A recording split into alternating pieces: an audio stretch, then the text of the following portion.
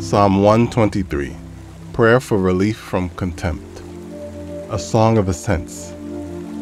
Unto you I lift up my eyes, O you who dwell in the heavens. Behold, as the eyes of the servants look to the hand of their masters, as the eyes of the maid to the hand of her mistress, so our eyes look to the Lord our God, until he has mercy on us. Have mercy on us, O Lord, have mercy on us, for we are exceedingly filled with contempt. Our soul is exceedingly filled with the scorn of those who are at ease, with the contempt of the proud.